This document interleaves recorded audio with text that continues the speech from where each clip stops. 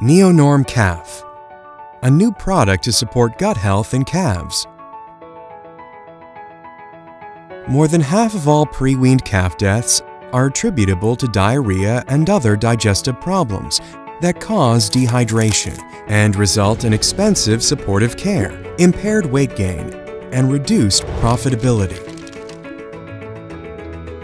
Neonorm Calf is an enteric-coated bolus containing a proprietary botanical extract given orally to pre-weaned calves twice daily for three days to inhibit water loss from the circulatory system via the lining of the gut. Here's how it works. When a calf is fed milk, the pH of the stomach increases, which can allow viruses and bacteria to pass through the stomach and cause disease in calves' intestines. This causes a salt imbalance, driving excess water to the intestines, resulting in diarrhea. Neonorm Calf normalizes water flow from the gut lining cells to the intestines and promotes normal stool formation.